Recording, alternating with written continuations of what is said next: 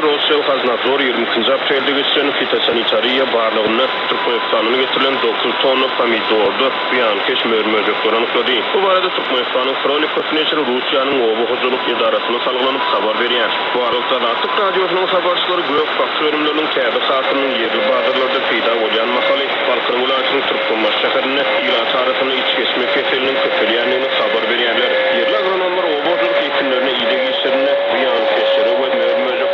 ay ähmiýetini Edherba,laughs çekýärler. 20 longna Tertirae Moskwa we Tula elkaer,6 boýunça bölümi soň haýlarda kabla ardi.2 u trees fr approved by the meeting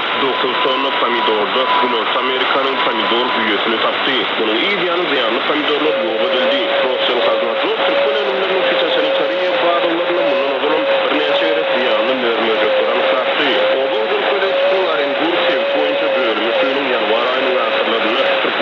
Yönetiminin 18 tonluk kamidorda yer alma